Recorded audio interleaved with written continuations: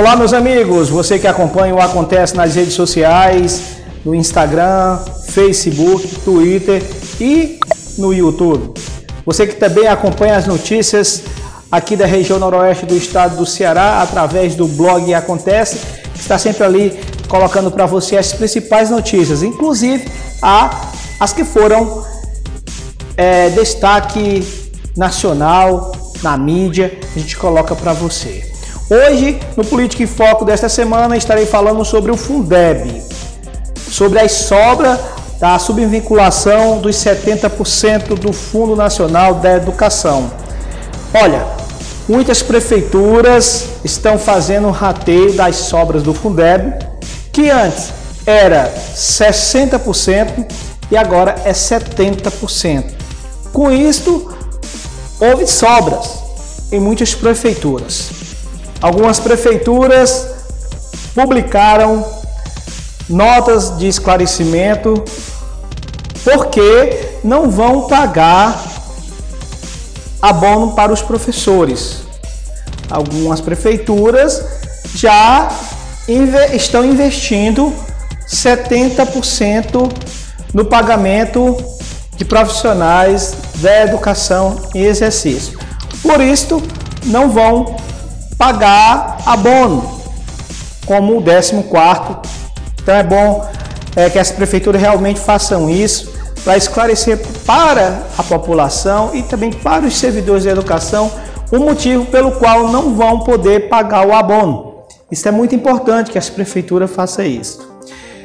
Outras, através da imprensa, justificaram as, sobras do Fundeb dizendo que não tinha em que investir, por isso sobrou dinheiro, está sobrando dinheiro e tem cada justificativa absurda que, por exemplo, um prefeito dizer e um secretário de educação dizer que não tinha, não tinha onde investir e que a preocupação é, nesse momento seria a questão da saúde por conta da Covid, realmente não justifica, porque saúde é saúde, educação é educação.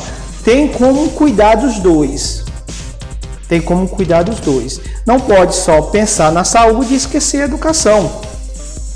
Como teve um prefeito que disse né, que não tinha em que investir esse dinheiro, por isso está sobrando.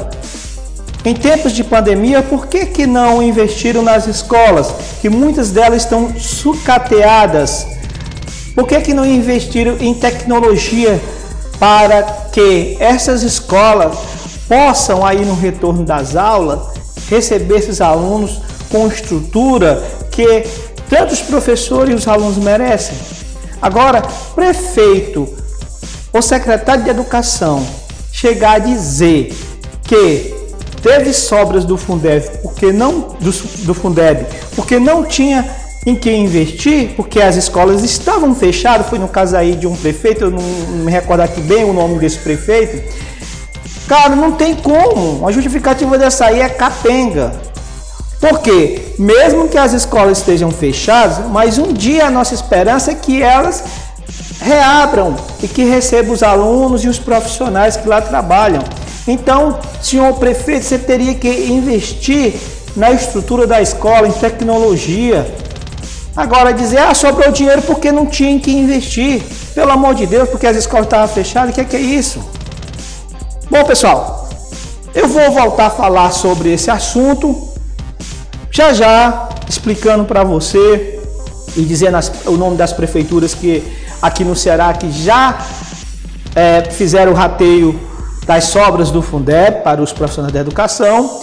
E também vou estar falando especificamente de algumas prefeituras é, daqui da nossa região que ainda não pagaram e dizer o porquê conforme o levantamento que eu fiz. Volte a já falando sobre esse assunto aqui no Acontece no quadro Política em Foco, que eu faço todos os finais de semana no YouTube. Volte já!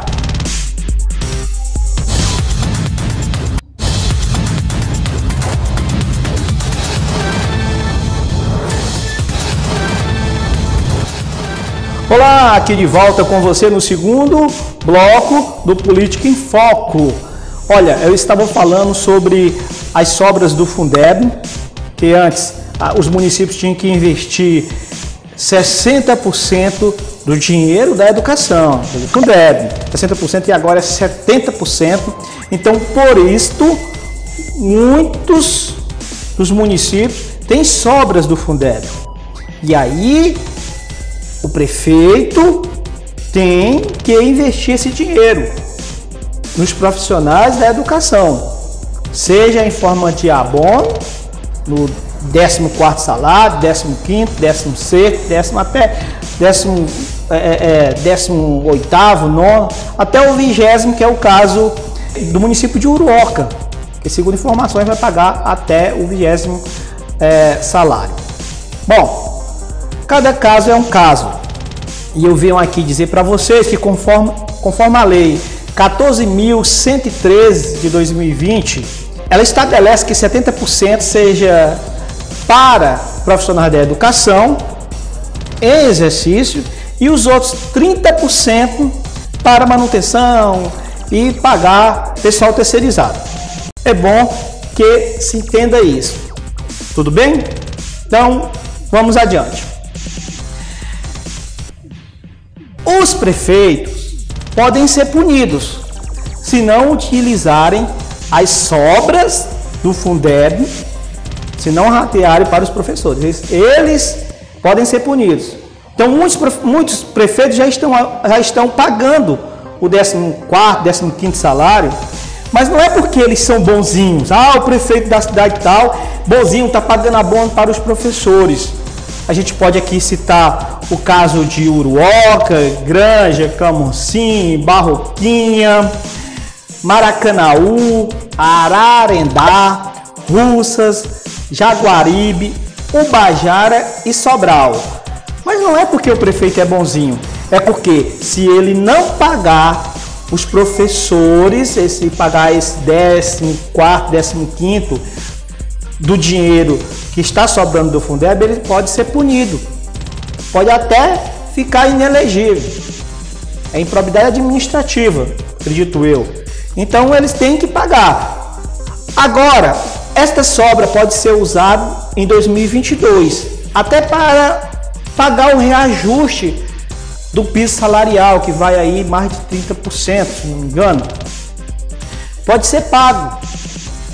Esse dinheiro pode ser usado para pagar esse reajuste no ano que vem. Mas isso depende da aprovação de um projeto de lei que está na Câmara dos Deputados, já aprovado pelo Senado. É, se por acaso os deputados não aprovem e os prefeitos não paguem,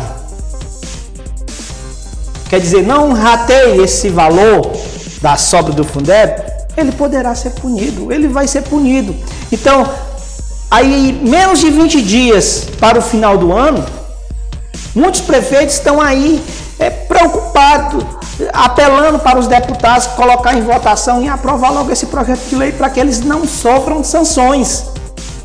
Eles estão contando que esse projeto seja aprovado para que eles utilizem essas sobras no ano que vem, principalmente para pagar o reajuste do piso salarial. Mas olha, olha só, prefeito, cara pálida, você, principalmente você que disse que não tinha onde investir. Tomara que os deputados não aprovem. É para você ser punido. Bom gestor sabe sabe administrar sem estar tá recorrendo essas questões. Vai fazendo tudo direitinho. Eu quero até aqui fazer aqui uma ressalva sobre Martinópolis. Martinópolis, no início do ano, a arrecadação estava inferior à necessidade, eu estou falando referente ao Fundeb, a necessidade da folha de pagamento dos profissionais de educação. Só que depois foi melhorando, foi melhorando. Segundo informações do presidente do Conselho do Fundeb em Martinópolis, inicialmente a folha da educação estava superior ao que estava arrecadando. Porém, a partir de agosto, se eu não me engano, a partir de agosto, começou a ter sobras. Então você imagina só, de agosto até agora dezembro, acumulando aí 100 mil, 200 mil, 150 mil, porque eu fiz uma avaliação no mês de novembro, Martinópolis recebeu mais de 150 mil. Isso em relação a 2020. Então sempre está tendo sobra, né? Então, se tiver sobra, o prefeito Betão terá que, de certa forma, dar um jeitinho de ratear com os professores. Ou então, no último dia do ano, ele já antecipar o salário do mês de janeiro para começar zerado, para aí não correr o risco de sofrer sanções. É isso? Esse é aqui meu esclarecimento. Eu volto já já no próximo bloco para poder esclarecer para você que acompanha o Acontece, para você profissional da educação, por que, que o Uruoca já pagou abono para os profissionais da educação e Martinópolis ainda não. Marroquinha também, Camusim, Granja, né? Já já eu explico para você. Vem comigo, volto já.